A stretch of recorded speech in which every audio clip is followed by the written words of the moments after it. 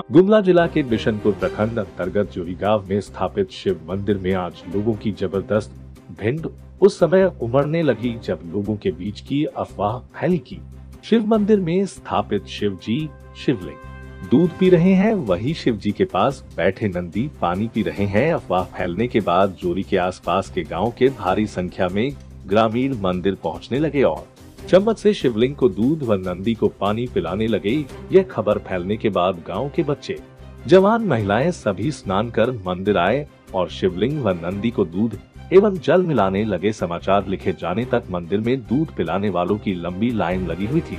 इस संबंध में जोरी गाँव के रंजीत साहू, ब्रजमोहन साहू, रविंद्र साहू ने बताया कि उनके परिजन जब मंदिर गए तो वहाँ उन्होंने भी भगवान शिव जी को दूध एवं नंदी को चम्मच के द्वारा पानी पिलाकर मन तृप्त हो गया।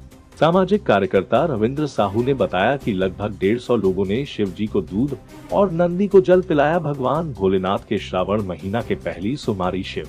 जी को दूध और जल पीना क्षेत्र के लोग काफ़ी शुभ मान रहे हैं। लोगों का कहना है कि क्षेत्र की खुशहाली का यह संकेत है।